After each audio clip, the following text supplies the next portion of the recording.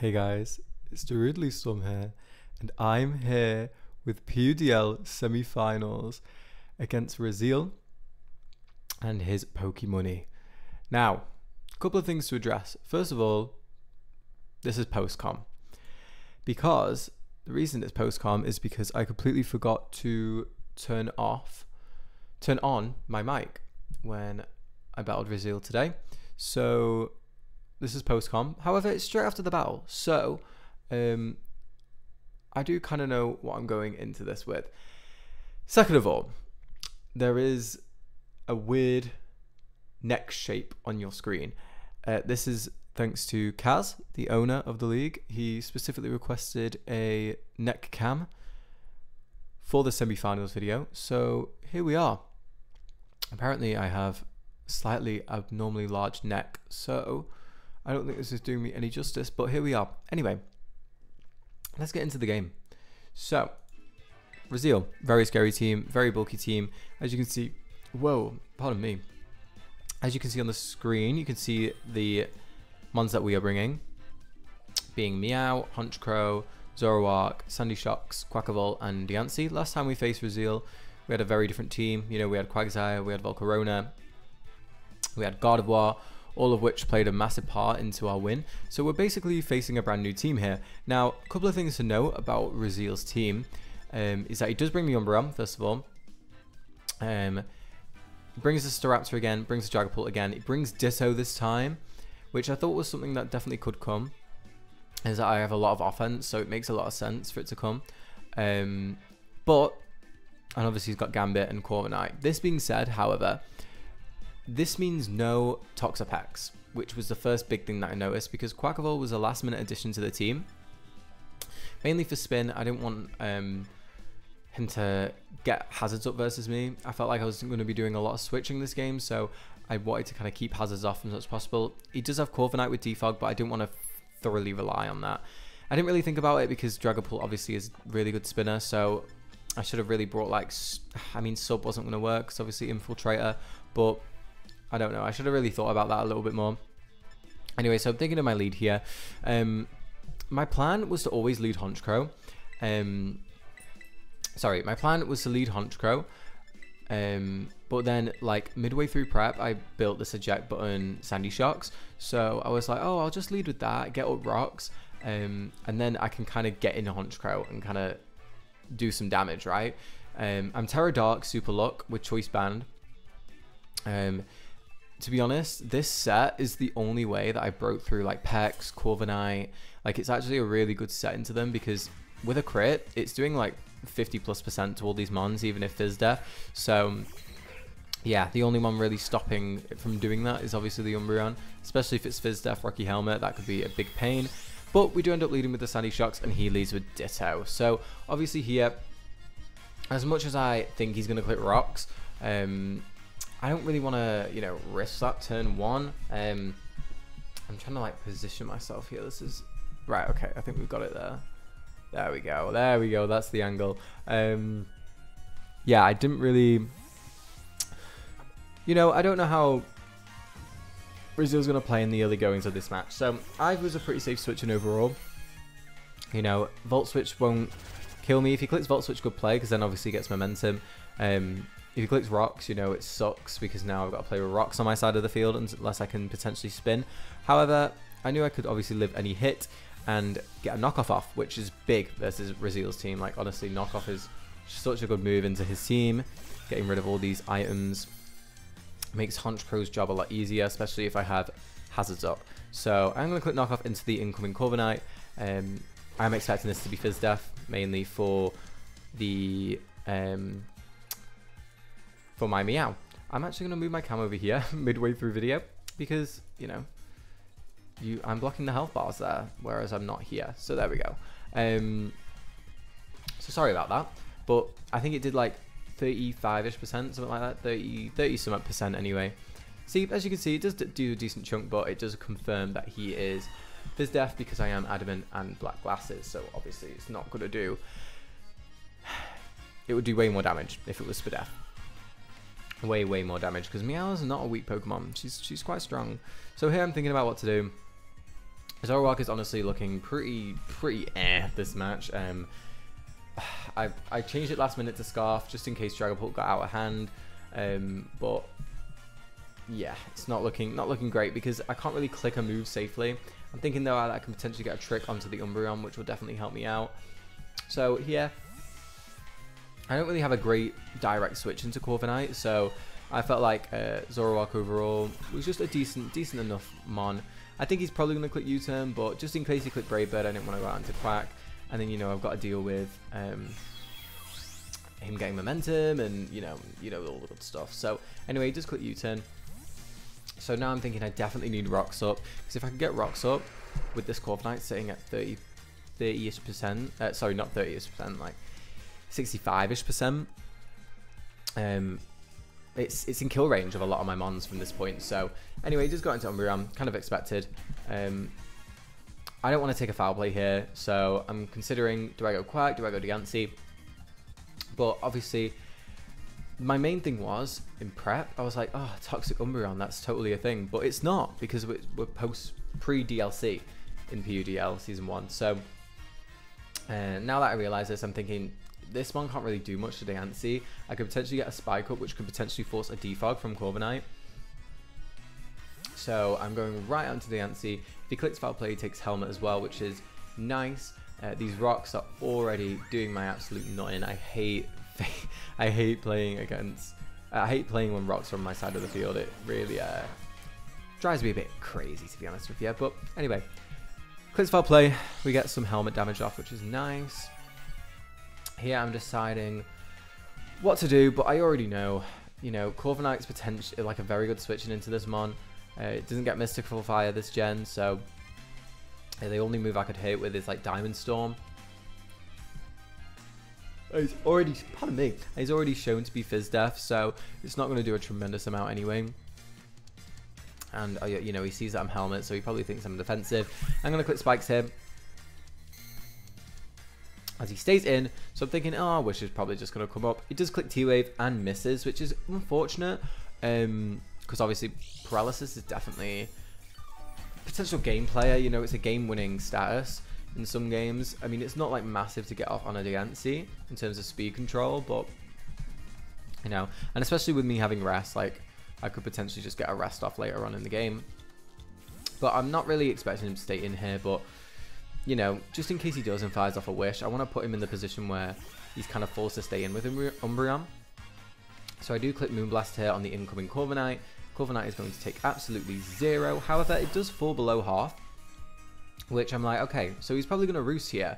So I'm going to make take advantage of that play and go out into my Sandy Shocks. I felt like that was the best play overall. Um, get the boy in, potentially get my rocks up, and just kind of start pressuring him as much as he's pressuring me with these rocks right now. Because they are definitely a big pain in the process right now. So, here, I think I do click... Um, what do I click? Do I click Earth Power first? I click Earth Power first because I don't really want him to get any momentum going out into Ditto.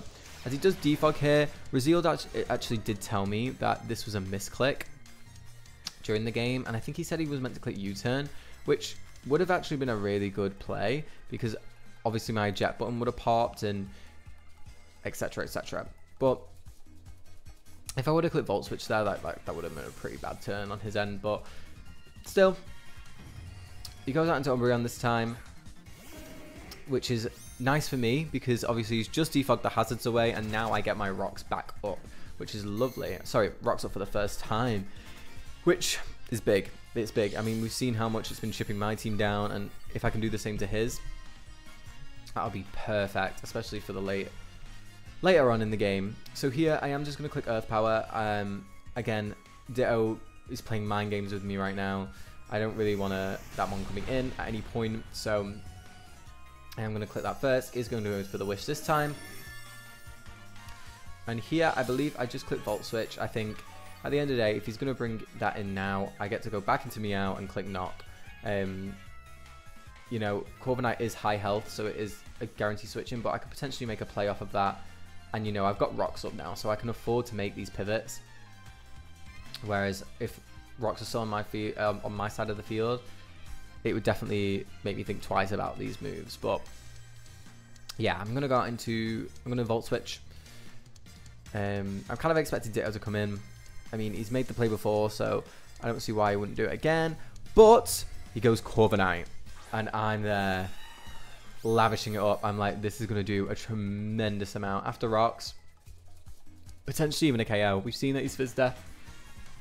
We go for Volt Switch. The boy lives on one. On bloody one. And he's going to get the wish back. However, I am more than happy with this. Like, I am a very, very happy boy right now. So here, I'm going going with the game plan. If I see, if I Tera crit this Corviknight, if he's fully Phys Def, it just dies. So uh, that is exactly what I'm going for. Tera Dark Knight Slash is always my play. I was tempted to U-turn because Umbreon is still alive, and if I don't crit that Mon, I do I go from doing like a decent chunk to like absolutely zero. So I was half tempted to U-turn first, especially with it being like a decent amount of HP still. Um, but I just click the Night Slash. I think at the end of the day, he might stay in um, and click body press or something to weaken me. That was me double checking that I was super luck. Um, but yeah, I'm just gonna I'm just gonna Tera Dark here. I'm taking my taking my sweet old time, but I know the play in the end, and I do go for it as he does withdraw, and he does go out into the Umbreon, which is sitting around like 70%, maybe a little bit higher than that. But I am going to Tera. Tera Dark is in. I think this is the first time I brought Tera Dark Honchkrow this season. And it's semi-finals, baby. So let's see it. Um, so yeah, so I do go for the Night Slash. Obviously, it is a resisted hit. But I do have the Super Luck. I am Choice Banded. And this is Spadef Umbreon. So we do get the crit. And we do a tremendous amount to this Umbreon. And I see from my calcs, if he's fully Spadef, which I'm pretty much guessing that he is at this point, uh, another Night Slash actually does just kill. Goes for Protect. I don't, I couldn't remember if that quite put him out of range or not. Um, I think it potentially did put him out of range if I didn't get a crit. Um, however, it was very close. I think it would have would have been a roll at that point. Honchkrow's so so strong, and with this Umbreon being Spadef, it definitely helped helped the cause. You know, if this was Phys Def Umbreon, we wouldn't even be remotely in this position right now. But we are going to click Night Slash again. We do get another crit, Mantis Super Luck, and the walls are getting broken. The walls are getting broken. Umbreon is down, and that is massive. That is big for Meow, considering I'm not running Flower Trick this week. I'm running Low Kick, Knockoff, Sucker, and Taunt. So, um, you know, I kind of needed Umbreon low anyway for Meow to kind of just click knock off, click Taunt, and have even a, a chance versus that. So anyway, in comes Ditto. In comes the boy. Just gonna trace Deborah. She's now she's a lady. Whoa, whoa, whoa. She's a lady. Um, and here, I'm like, what do I do? And I'm like, I have a Diancie. What do you mean, what do I do? That's always my switch in. So, Diancie's coming in. I was half tempted to Night Slash again, to be honest with you. Um, but I just thought Diancie's such a safe switch into this Mon. Um, but he does click U-turn. So, you know, if I would have stayed in, I mean, I would have took a lot of damage, right? But I would have just got another kill, to be honest with you. Another, I, I, he didn't have a switch in. So I would have just got another kill, but, you know, he could have crit me, and then crit, I definitely would have died, and yada, yada. Well, actually, he does have, he does have Gambit, so never mind. I made the right play. So anyway, in comes the Gambit, and I'm terrified of this Mon. This Mon's so, so scary. Supreme Overlord gets shown, so he's not Defiant, which means I can safely spam Moonblast without worrying about this Mon getting a plus two, which is nice, but we do see the leftovers, which is also quite nice, actually. Here, I have to go out into Quack. I'm thinking, you know, he could click Zen Headbutt, and that would be a bad, bad time, but I was calking, and I lived Zen Headbutt into Sucker. Um, I was almost papaya. Uh, is that what it's called? Papaya berry? Pa I think it's called that. Yeah, the psychic berry on this mon, just so I could take the Zen Headbutt into the sucker, guaranteed no matter what. Like, obviously, if I wasn't weakened or anything before, So, but I went Covert Cloak because of the what's one called Toxapex and Gastrodon. Both of which I am slightly surprised not to see, but more so uh, Pex I'm surprised than Gastro since he brought it last time. But anyway, Quack comes in. And I'm thinking Zen Headbutt is getting clicked here, but Iron Head gets clicked, which is nice. It still does a decent amount of damage, to be fair. Um, but this is why Quack's here. Quack is here to check this Mon. I mean, it is actually looking very good into his team right now. Uh, all things considered. Here, I make a bit of a ballsy play. I'm thinking there's no chance he's staying in here. You know, we've seen that he's lefty, not choppable, so I just don't think he risks the gambit. I go for Ice Spinner, catching a potential Dragapult. However, we do catch the Corviknight instead which is completely fine. I am adamant Quaquaval, so Ice Spinner into CC is going to be able to knock this one out. And that is exactly what I'm going to go for. I'm going to go for the CC the following turn. And Quaquaval's going to pick up a kill.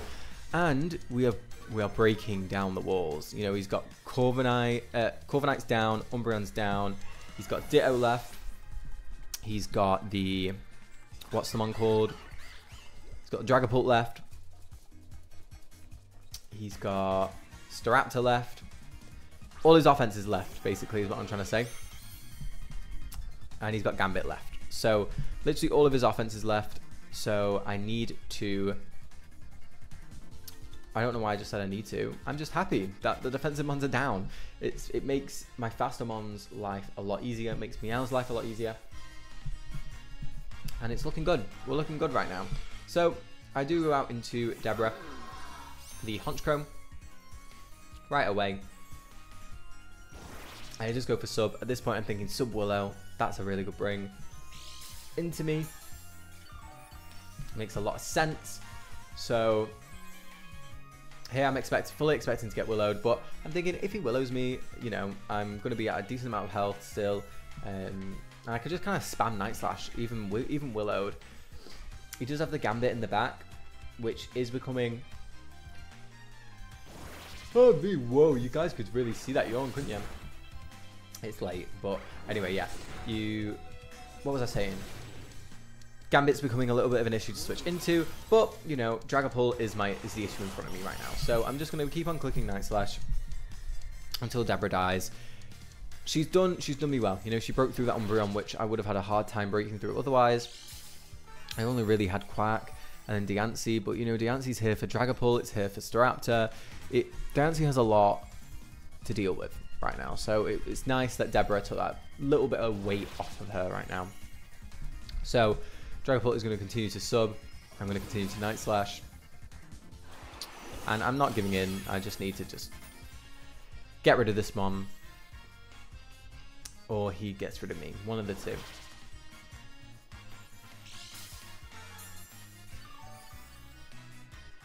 But no, this pulse set is definitely very good into me. You know, my, my, my main priority being my Sucker Punch Mons. It definitely helps out versus that. Kind of makes me wish I brought Scarf Meow. As that would have been so good here. Uh, very spammable as well. At this point in the game anyway. But, you know, like being able to switch up between my Dark Moves and Low Kick was definitely something I valued this game. So, I'm sat here thinking, do I go out into Diancie? We've seen him clip darts. He's probably going to do it again. But I was like, if he's some like weird mix set with Hydro Pump, I don't want to play that game, you know? And Staraptor is full health in the back. And it's still a threat that I need to deal with accordingly. It's not come in at all this game. Um, you know, last time it came in and then I brought in Cress and then Crest took loads of damage, but then Staraptor took loads of damage in conjunction with that, but this time Staraptor has not entered the field, so I'm not playing that game. I'm going to go out into Neptunian now, my and I'm just going to click Moonblast. It's very free now. You know, he's got Ditto, which can take one, obviously transforming into Diancie, um, but left he's got Gambit, which I would happily take damage on.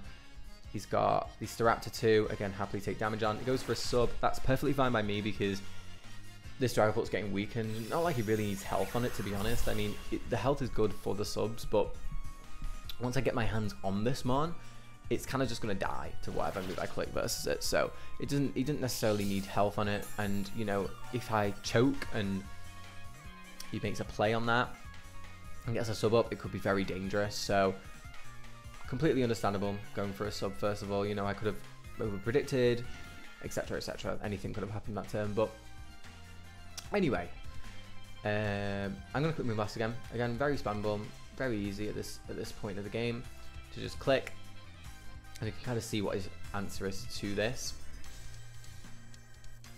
Again, all I've seen. Oh my god, pardon me, guys. All I've seen so far is Dragon Dance and. No, I've not seen Dragon Dance. I don't know what I'm on about. I've seen Sub and I've seen Dragon Darts, is what I meant to say.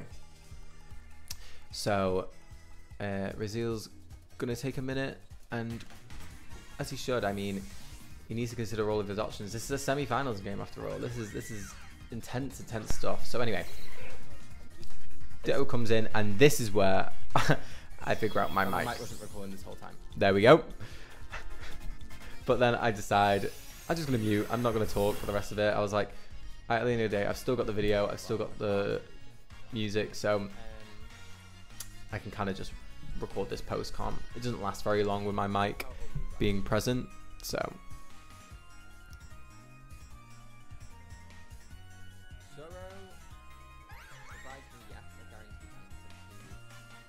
you can really. I was really quiet anyway, so you know it works. It works out. I hope that my mic here is pretty good. I don't have it on exactly my same uh, scale, but yeah. So here, I'm a bit flustered after realizing that my mic was not recording properly, so I do end up making my move. I go out into Quaquaval, I believe. Uh, I did not need, uh, sorry, I went into Sandy Shocks first. I did not need Sandy for anything at all, and I felt like this was just a very safe play, just just overall, really. Like I say, I didn't need Sandy, so in fact, the eject button, it works, but you know, it's it's fine. Um, yeah, it works actually because now I get to go out into my Quaquaval. I know I'm hovering Zoro. I was thinking about it, but you know, I- I'm scarfed and I can't trick this one obviously because it's scarfed also. So I was thinking I can't click any one move right now. You know, Staraptor comes in. If I click Shadow Ball, Staraptor or Gambit comes in. If I click Focus Blast, Dragapult comes in. I can't click a move right now that works for my team. So Quaquaval comes in. I calc that I can live an Earth Power quite comfort, comf- oh my god, comfortably. I just messed up that word completely. What the hell? Anyway, I can live it pretty easily. And I was like, wait, if he like plays this wrong, this is potential for me to just win the game. So clicks Earth Power again. I click Rapid Spin to get a speed boost. And if I get one more Rapid Spin, like this is potential game over. Um, like if he lets this die and then I get my speed boost up, this this game is over. So I click Roost here on his potential other Earth Power. And I basically just have to spam Rapid Spin once I click this Roost. If he stays in.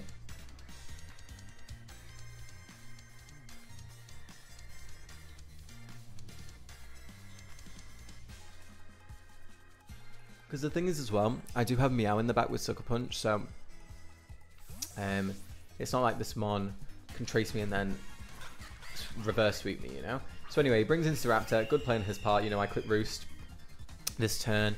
Uh, probably should have just clicked CC, but that's fine. I get Quack back up to a decent amount of health to deal with uh, King Gambit. It just means that I can definitely switch into King Bang, oh, King Gambit later on without like worrying if he's going to click Zen Headbutt and KO me or what the what the game plan was there. So I'm going to withdraw. I do in fact go on to Sandy Shocks again. Do not need this mon. If this one's scarfed, it outspeeds me and kills me anyway. So I do not need this right now. And you know, Dragapult outspeeds me. It got up its rocks, which is what I needed Sandy Shocks for this game, to be honest. Um, so here, I go out into Diancie, obviously. It's my uh, comfortable check to this man, and now Moonblast just picks up a kill. Uh, Ditto doesn't live anymore. This one stays in. Brave Bird plus Rocky Helmet plus Recoil plus Moonblast will kill it. I've got a slight bit of offense on this Diancie. I've got a decent bit of special attack, and I am modest, so it will just kill the Staraptor after all the recoil. But we're going to see what he's going to do. As he does withdraw, and he does sack the Ditto, which obviously it was very low on HP, but now I'm thinking if I can get somehow get into the same position with Quaquaval, which is going to be very unlikely in this in this sort of end game. Um, now it definitely just cleans up. But I do go for the Moonblast. Not this man out, and you know he's still got ve three very scary mons left. Um, he's got King Gambit, which deals with Diancie, and then he's got Staraptor and Dragapult, which Diancie does wall the pair of. So obviously he does go into King Gambit. Queen Gambit, actually. Sorry, my lady. Uh, Queen Gambit is in. She's so scary. Look how intimidating she is. Um, so here, I'm debating on what to do. I'm like, Zoroark doesn't really do much. But then I'm thinking, if I can get this uh, Dragapult in a position where it's the only mon left, and I can click Shadow Ball versus it and kill it, and then I have Quaquaval left to deal with uh, Gambit, that is the perfect situation I find myself in. And I'm like, now that I know he's sub, Meow is it's just mind games with that, and I don't want to play those really if I can help it. Um, I think Meow does live a darts, but you know, potential to crit, etc., etc. And it would be close, obviously, as well. So I'm really debating my move here. I really don't know what to do. Um, in the end, I do decide to go out into Meowscarada. Again, purely because I didn't want to play the mind games with the Staraptor. I actually think my play should have been Zoroark. However, you see that the timer did actually run out on me here.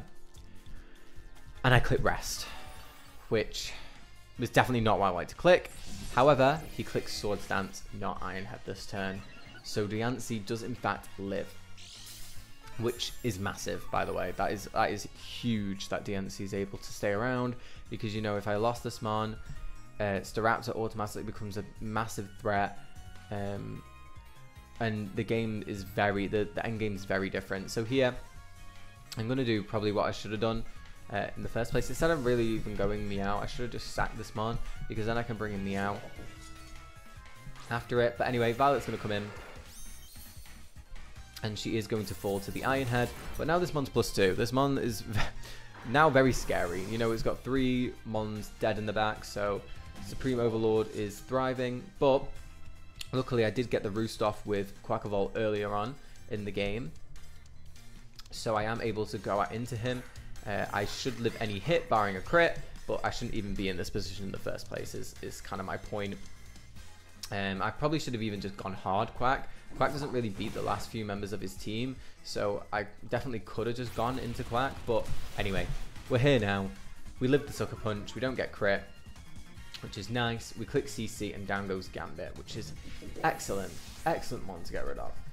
Now, we've got Pull and Staraptor left, both of which Diancie, if she wasn't asleep, could very much deal with and win the game at this point in time. However, now we have a sleeping Diancie, so I have to play this game a little bit different, this, this cheeky little end game. So, here, uh, I have to click Ice Spinner. I don't want this Dragon Ball to get a sub up on my switch into Diancie. That sounds like hell, and I don't want to deal with that right now. So, I am just going to click Ice Spinner, making sure that he does not get that sub up on my potential switch into Diancie.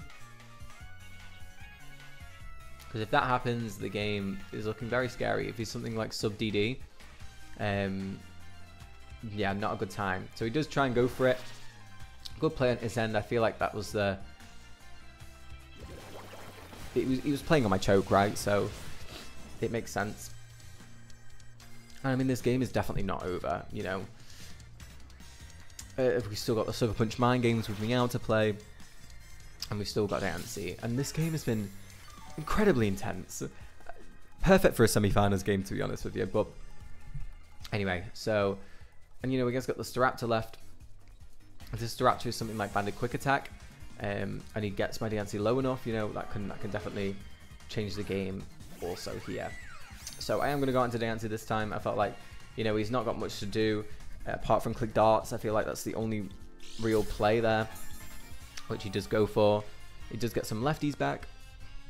And now I just have to spam Moon Moonblast until I wake up is my plan as he does reveal the Dragon Dance. And here I shit myself. I can't lie. This this mon suddenly got very scary very quick. Because obviously I don't have sleep talk on this Diancie. I have to sit here and let this mon dragon dance on me twice. And yeah. Uh, I'm terrified to be honest with you. Uh, as obviously he's going to click DD again. It's his only real play here. And I'm calking and luckily plus two Phantom Force does not kill me. However, if he crits me, uh, I think the game's just over, to be honest. And I hate that I'm in this position because it's just it's basically Russian roulette, right? You know, I'm it. I'm just waiting to see what we draw out of this term, um, because it could very easily be a very different game all of a sudden, and then you know I have to go out into Meow. We have to play Sucker Punch games, and it's a 50-50 at that point, and the odds are getting stacked and stacked against me at this point in time. But we are going to click Moonblast. Obviously, it's going to get a bit more health back. And this is the moment of truth. Does Dragapult pull it out for him? Not quite. Not quite. We click Moonblast. Down goes Dragapult. And in comes Staraptor. And I'm thinking, at this point in the game, how does Staraptor win? I'm thinking, I'm, first of all, it comes in and I'm like, wow, it's a lot healthier than I thought it was. But then again, it's not touched the field yet. So, makes a lot of sense that it's at this health, obviously. Uh, he clicks close combat. Good play on his end, you know, not wanting to take the recoil, and it kills the rest of my mons from this range. So, CC makes a lot of sense. He's going to take the Rocky Helmet, though. And here, I go out into Meow, and I click Sucker Punch. At this point in the game, I cannot lose. If he's Roost and clicks Roost, um, he can't get a sub if he's that. If he clicks Roost, I then know I'm faster, so I can click Knock off the next turn. If he Scarfs see, Sucker Punch just kills him right here, which we do see that it does. And we are going to pick up the win against Raziel 2-0 in the semi-finals this match was crazy, crazy, crazy game.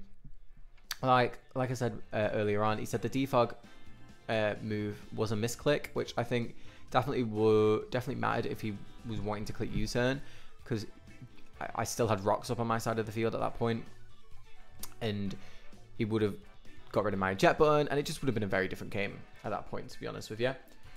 But alas, we are in the finals. PUDL finals are calling our name, and our opponent has been revealed. We are facing Finley. If you remember, we lost to Finley in the regular season, and Finley is someone that I've known for years and years and years, so it just feels right that we are both the finalists in PUDL Season 1, and that is going to take place next week. So, with that, thank you guys so much for watching. It's been DarudeLeafStorm, and I'll see you all later. Finals, baby. Bye, guys.